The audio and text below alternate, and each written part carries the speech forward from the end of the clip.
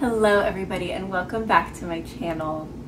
Uh, so I have a really fun video for you guys today. I have been wanting to do this for a while.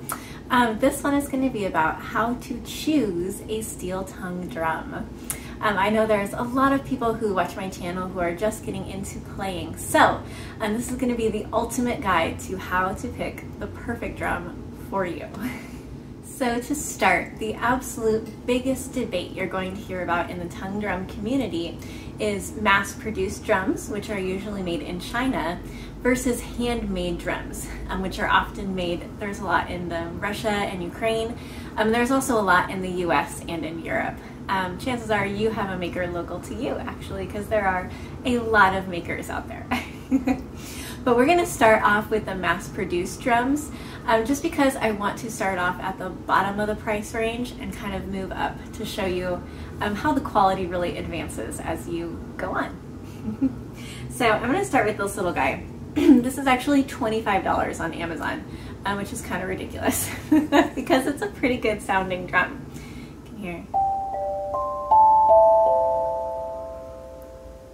It's pretty in tune. It's nice. Um, also, around the, I think, $50 range, you've got drums that look kind of like this. um, and also, around $60 um, is this bigger drum by Harmonic Star. And this is also a mass-produced drum, um, but the company that produces it is in Australia.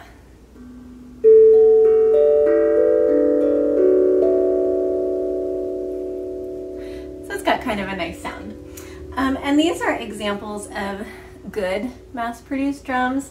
There are mass-produced drums that just um, are not quite in tune or um, not as awesome. The quality control can be a little off when you're looking at mass-produced drums, unfortunately.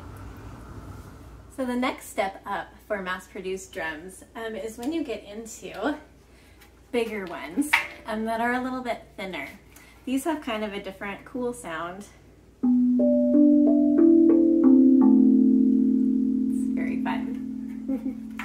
Um, you can also see bigger drums. These are about 14 inches in diameter.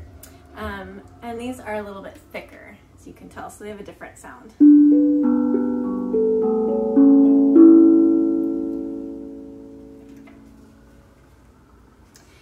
Um, and then you see ones like these. This one is about 12 inches, and that sounds like this.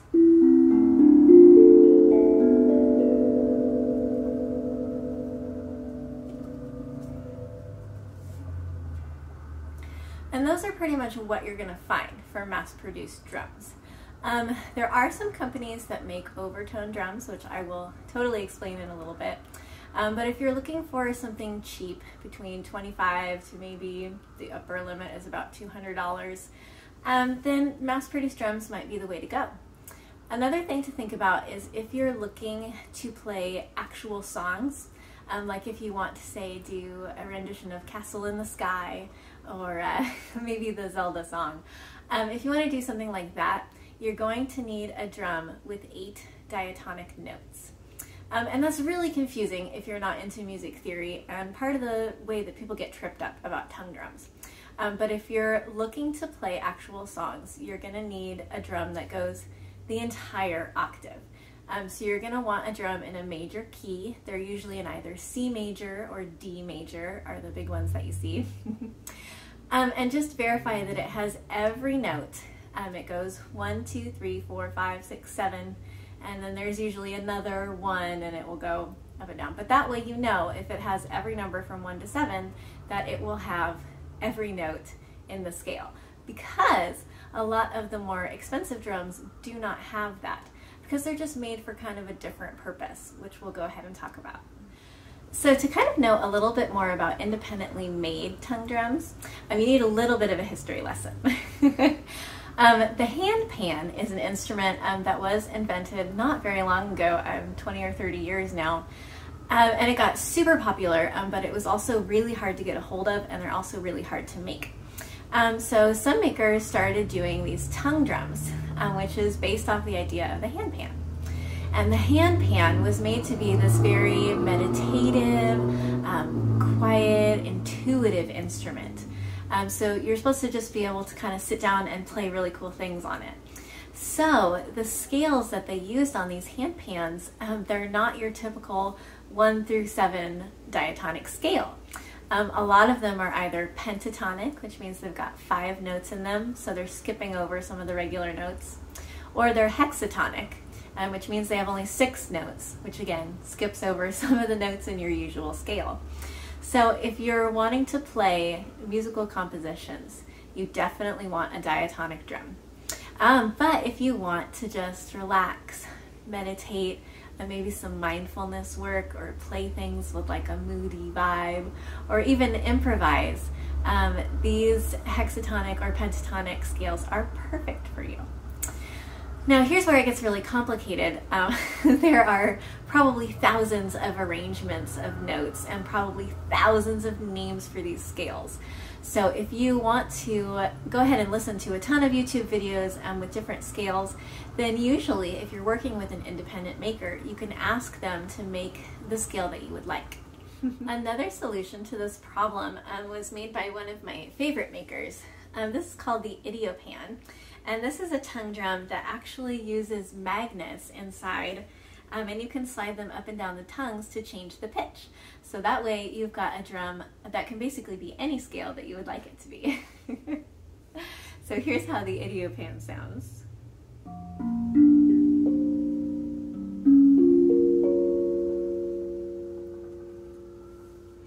That's a fun one. This one is a 14 inch idiopan, but they do make them as small as six inches. So I'll put a link to those down in the description, as I will for every drum that I'm going to show you. Here is another one. Um, this is the Guda Freezbee.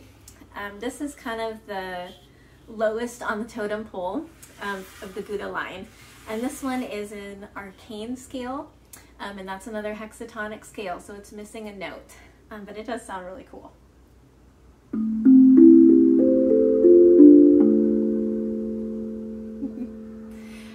This one is about 275 I believe. And here's another one from an independent maker. This one is made by Kosmosky. And this is a maker in Russia. And although they do make regular tongue drums, like the ones I just showed you, um, this is another super interesting choice that you get to make when you are looking for a tongue drum. Um, as you can see, on this particular drum, there are slits cut in the little tongues. And you might wonder, why is that? Well, that's a fantastic question. this is something that I tend to call an overtone drum. So remember, um, these drums are made to imitate hand pans. And hand pans, when you tune them, each note is tuned not only to its original note, but you also tune it to the fifth above and the octave above. And if you're not a music major or uh, know a lot about music, you won't understand that, and that's fine. Basically, it just means um, the note really rings. Um, it has this really pure sort of picture uh, singers in a cathedral. That's what that sounds like. So these drums are made to sort of imitate that sound. Those slits that you see are cutting those extra notes, um, usually a fifth, sometimes an octave also, into the tongues of the drum so they have this extra resonance. So here's what that sounds like.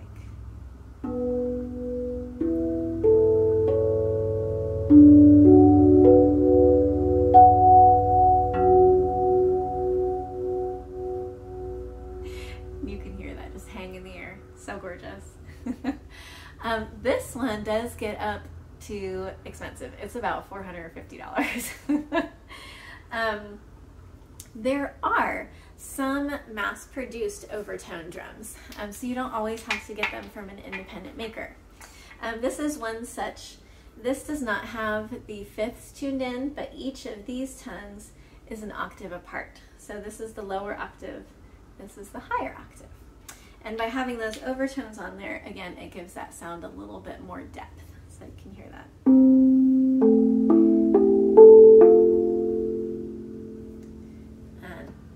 To a regular tongue drum with no slits cut in it. It sounds a little bit different. So if you decide on an independently made tongue drum, um, you're going to have to choose a scale. And that's so involved, I'm probably going to do a whole other video on that. Um, but just be aware of that choice. So when you're looking for tongue drums, um, your first consideration should absolutely be what kind of music do I want to play? If you want to do improv, if you want to do meditation, if you want to do um, just relaxing music, you should definitely go um, for either a pentatonic drum, and you can get pentatonic mass-produced drums. This little tiny one for 25 bucks. This is a pentatonic drum, um, and it sounds pretty cool. So you can just sit around um, and improv on it, and nothing's going to sound super off. It's going to be pretty. Um, and if you would like to play um, like actual songs and follow along with sheet music or with the number notation that a lot of steel tongue drums use, you're going to want um, a, a tongue drum with a lot of range. So it's going to have a lot of notes on it and you're going to want it to be diatonic. So it has all numbers 1 through 7. If it's missing a 4, if it's missing a 7, that means it's a pentatonic drum it's not going to work for you to play songs on. now, if you have decided um, that you would like to go with a pentatonic drum, then I think it is absolutely worth it to look into the independent makers. Um, not only the super popular ones, like most people have heard of the Guda or the Kosmoskys, um, or the Rav Vast is like a, a really fancy tongue drum. Sounds beautiful.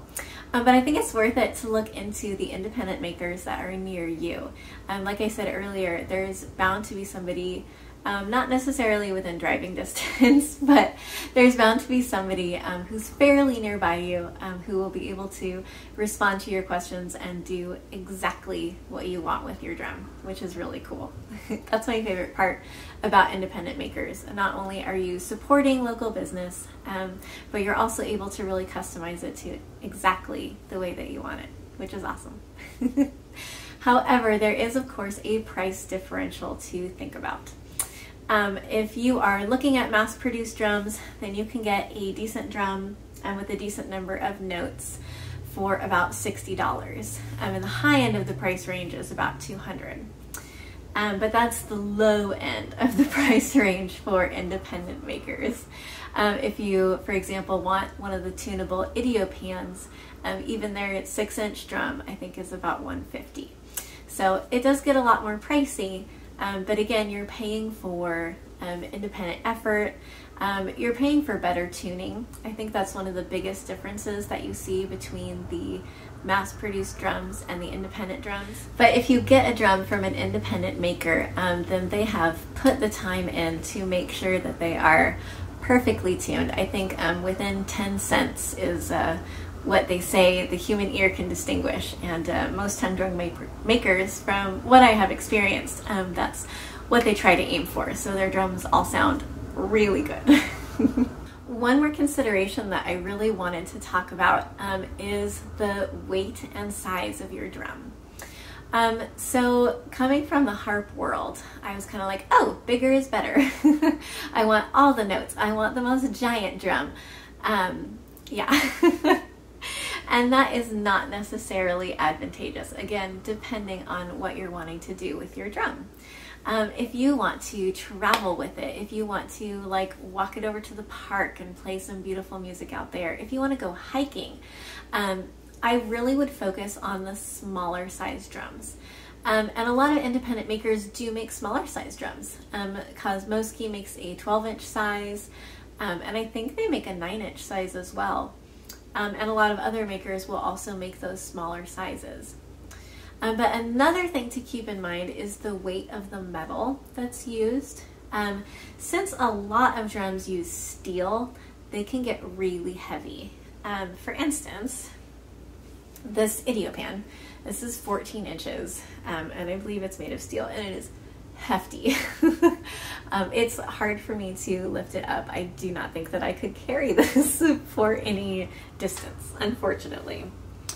Um, but the Guda Freezbee, um, I'm not sure what metal it's made out of, but it's a much lighter metal.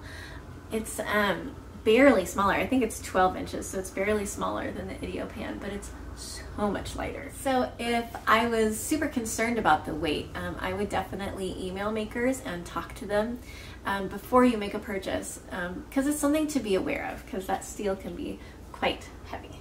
One other thing that's really helpful to keep in mind. Um, if you are the kind of person who thinks the Idiopan sounds amazing, um, the tunable things, you can tune it to different scales. A lot of drums are actually capable of doing that. Um, I don't know of many more that are designed for it, like the Idiopan is, um, but a lot of steel tongue drums are magnetic, um, and you can get rare earth magnets, neodymium magnets, um, and you can use those to change your drum to different tunings. However, it's not all drums. Um, these really thin ones um, that are made in China are not magnetic. Some other ones are not because they're made with a different steel alloy. So it's always a good idea if that's something that you're really set on is changing tuning with magnets that you make absolutely sure that the drum that you are purchasing is magnetic. So I hope that is helpful for you uh, when you're looking to buy a tongue drum. Um, I will put links to all of these drums down in the description.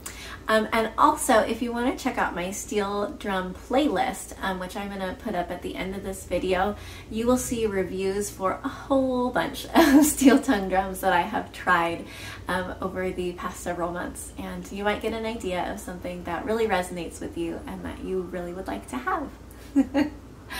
Um, if you have any questions, please feel free to ask me in the comments because I love talking to you guys and getting back to you, and I really appreciate all of your support.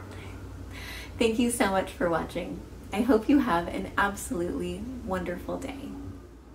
Thank you all so much for watching. If you would like to subscribe to my channel, go ahead and click on that subscription button right up there. Otherwise, if you would like to join my Patreon or buy me a coffee, the links to those are down in the description. I hope you have an absolutely wonderful day.